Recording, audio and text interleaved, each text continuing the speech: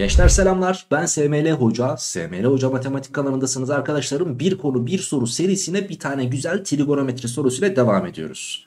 Dilersen önce e, videoyu durdurup kendin çözmeye çalışabilirsin. Daha sonrasında çözümünü benden dinlersin. Ya da arkadaşlarım hiç uğraşmayayım diyorsan devam edebilirsin çözümü izlemeye. Hazırsan başlayalım sorumuzu çözmeye Kartezyen koordinat sistemi üzerinde bir AB doğrumuz var. OB doğrusuna dikmiş arkadaşlarım. Bakın şuraya dik. Yani x eksenine paraleldir diyebiliriz. X eksenine paralel. Pekala.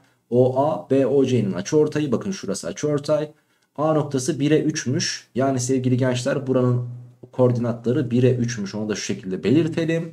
Bana diyor ki buna göre kotanjant COD açısının kotanjantı nedir? COD açısı neresi? İşte tam olarak şurası sevgili gençler. Onu da şu şekilde gösterelim ki kafa karışıklığına mahal vermeyelim. Şimdi düşünelim. Ben dedim ki buraya alfa. E burası da alfa olacaktır doğal olarak. Şimdi buraya alfa dedim. Gelin arkadaşlar şu kısmı da beta diyelim. Böylelikle neyi sağlatmış olduk? Alfa ile beta'nın toplamının 90 olduğu bilgisi elimize geçti. Çok güzel. Şimdi gençler bakınız alfa ile beta'nın toplamının ben 90 olduğunu biliyordum. Yani burası da böylece 90 değil mi? 90. E şimdi o zaman şuraya ne kalır arkadaşlar? Ki burası z'den de geliyor zaten. Burası arkadaşlarım beta'nın ta kendisidir. Çünkü alfa artı beta 90'dır ya da direkt z'den kaynaklı. Bak şuradaki z'yi gördün. Burası direkt beta'dır. O halde şuraya ne kalır? Beta eksi alfa kalır. Şimdi aslına bakarsanız bizden neyi istemiş? Kotanjant beta eksi alfayı istemiş diyebilirim.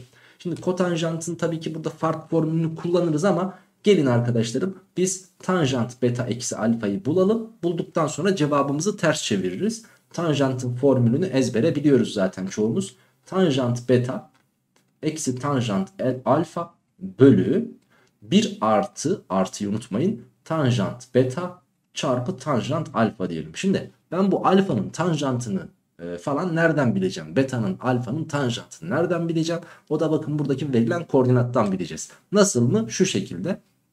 Bakın arkadaşlarım burası 1'e 3 ise şu kısım 1'dir. Bakın burası da 3'tür. Şimdi bakın beta'nın tanjantı karşı bölü komşudan 3 bölü 1 yani 3. Eksi alfanın tanjantı da karşı bölü komşudan 1 bölü 3'tür. Aşağısı da 1 artı 3 çarpı 1 bölü 3'tür. Bakın yukarısı 3'ten 1 bölü 3 çıkarırsanız 8 bölü 3 gelecektir. Aşağısı da bak 3 ile 3 gitti 1 artı 1'den ne geldi 2. 2 ile 8 de sadeleştirdim cevap 4 bölü 3 geldi ama bu tanjantın cevabı. Yani tanjant beta eksi alfa 4 bölü 3 hemen bunu bulur bulmaz atlama Edirne'ye tamam mı? Bize kotanjant sorulmuştu. Yani bunun çarpımsal tersi sorulmuştu. O halde cevabımız ne olacaktır? Mis gibi 3 bölü 4 olacaktır diyebiliriz. Güzel bir trigonometri sorusuydu. Ve bunu sana gösterdiğim için mutlu hissediyorum. Umarım sen de keyif almışsındır sorudan. Gençler bu videonun artık sonuna geldik. Diğer bir konuda görüşmek üzere. Hoşça kalın, sağlıkla kalın ve tabii ki bol bol matematik çalışmayı da lütfen unutmayın.